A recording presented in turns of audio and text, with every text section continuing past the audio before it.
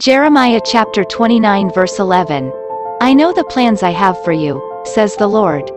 They are plans for good and not for disaster, to give you a future and a hope. God says, Give me your plans, and I will give you success. Your success might not look the way you planned, but it will be more than you asked if you trust me. God says, I will help you to find light in darkness and joy in sadness. So put your trust in me. I have planned everything for you. I love you. Type, yes, if you trust God's plan. Subscribe for more good news.